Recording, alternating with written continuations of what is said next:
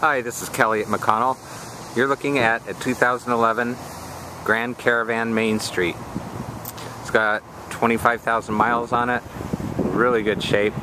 It's got power windows, power locks, cruise tilt, air CD, it's got the roof rack, it's got the nice wheels.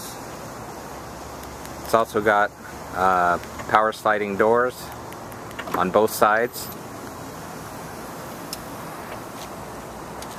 Bucket seats in the middle that store down into the floor. They're called stow and go seats. Cloth interior.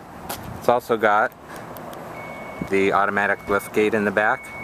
So if you have your arms full of groceries or whatever, you just push the button and it opens up for you.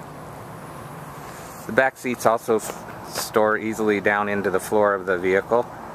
Um, so this is pretty versatile. You can use it for hauling things or hauling people anyways, if you want to come in, take a look at this, real nice rig, I'll be happy to take you out for a drive in it.